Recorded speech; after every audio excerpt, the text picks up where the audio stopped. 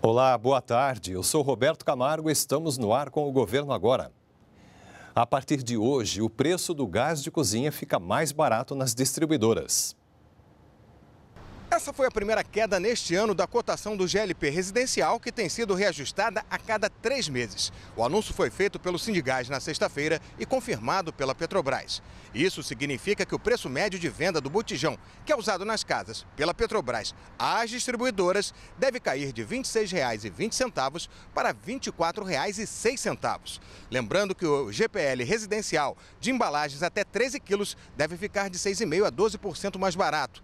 Já os botijões acima dos 13 quilos, destinados às empresas, terão redução de 11% a 17%, dependendo da localidade. Esse é o segundo corte consecutivo nos valores desse produto, que já havia sido sofrido uma queda de 9,8% no dia 24 de julho. A Petrobras vem alterando o preço do botijão trimestralmente para a segunda petroleira suavizar os impactos da volatilidade do preço do mercado externo sobre os valores domésticos. Agora o consumidor final deve ficar atento, pois o repasse dessa redução é incerto. Isso porque ainda depende da incidência de impostos e da margem de lucro visada pelas empresas, que varia. Do Rio de Janeiro, Marcelo Castilho, para o Governo Agora. Um final de semana recheado de medalhas no PAN. Os atletas brasileiros conseguiram garantir 10 medalhas em diversas modalidades. E já estamos em segundo lugar na competição.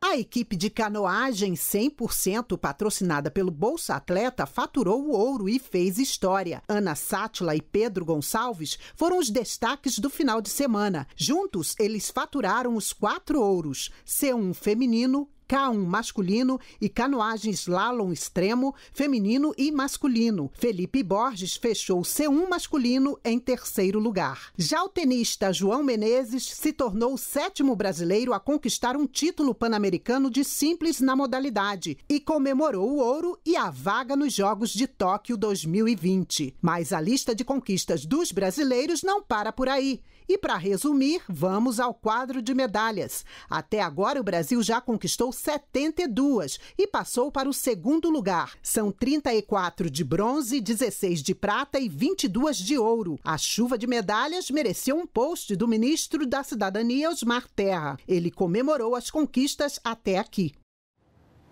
Durante a inauguração da usina solar flutuante na hidrelétrica de Sobradinho, o presidente Jair Bolsonaro lembrou que a obra vai ajudar a irrigar o sertão nordestino.